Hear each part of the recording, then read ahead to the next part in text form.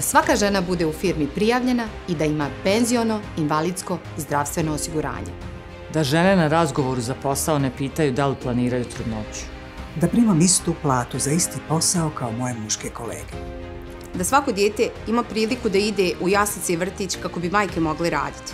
Da se žene ne boje otkaza kada zatrudne. Da se više muškaraca bori za prava žene.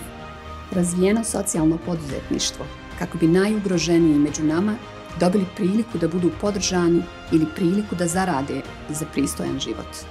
Da svaka žena može kupiti osnovne stvari za svoje dijete iz dječjeg dodatka. Da svako dijete sa poteškoćama u razvoju ima priliku da ide u jaslice i vrtić. Da žene dostojanstveno žive od porodiljske naknade. Da naše predstavnice i predstavnike biramo isključivo po njihovim sposobnostima, po onome što će učiniti za opće dobro, za dobro svi u nas u Bosni i Hercegovini. Da žene pripadaju svim mjestima na kojima se donose odluke. Da nisam izložena nasilju u politici samo zato što sam žena.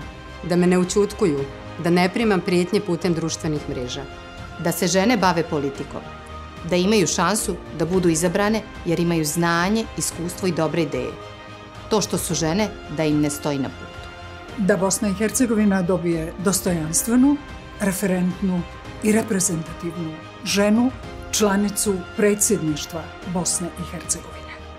Da promijenimo društvo na bolje, za nas i svu našu djecu. Da ne moram napustiti Bosnu i Hercegovinu, da mogu dostojanstveno živjeti u svojoj zemlji.